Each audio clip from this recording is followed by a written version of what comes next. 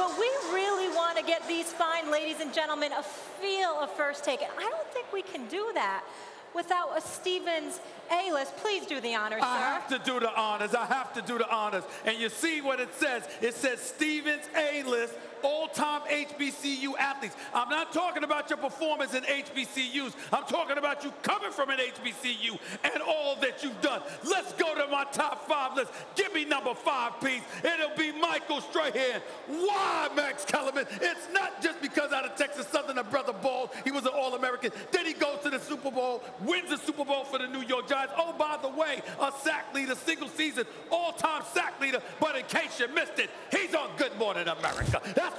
Him top five, okay? Let's go to number four on my list. Jerry Rice. I should say why, but I really shouldn't have to.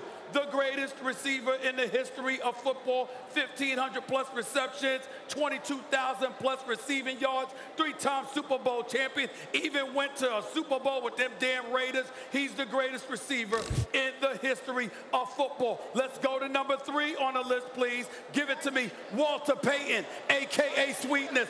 Why? You know what he was. The man played at Jackson State. He was sensational there. He goes to the NFL. He was sensational there. He went to Super Bowl championship in Chicago. Once upon a time, he was an all-time leading rusher before Emmitt Smith came on board. There's no debating this. Let's go to number two on the list, please.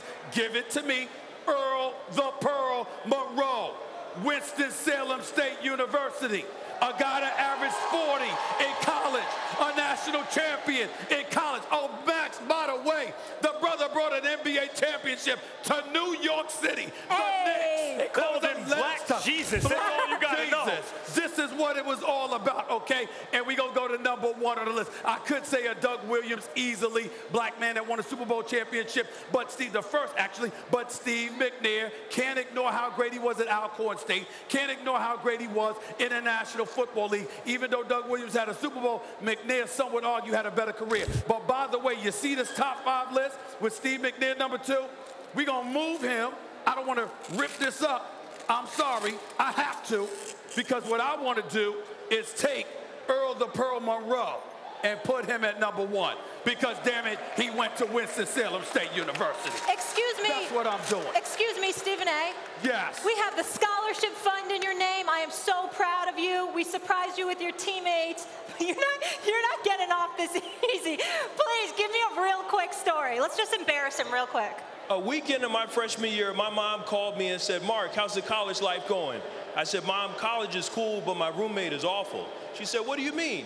I said, He talks too much, he thinks he knows everything. He cuts me off when we talk, he doesn't share his food, and he doesn't clean up after himself. Horrible. So nothing's changed. Oh my gosh, Mark.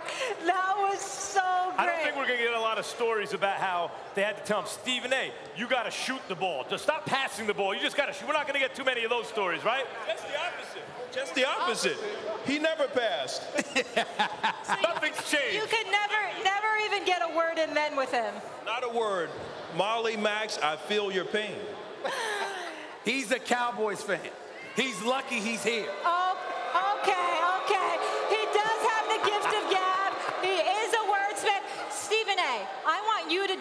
honors. We have these talented folks here, a battle of the bands. Can you please take over and introduce them?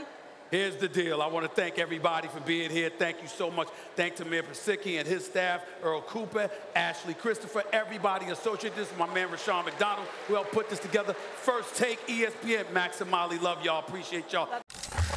Thanks for watching ESPN on YouTube. For more sports highlights and analysis, be sure to download the ESPN app. And for live streaming sports and premium content, subscribe to ESPN Plus.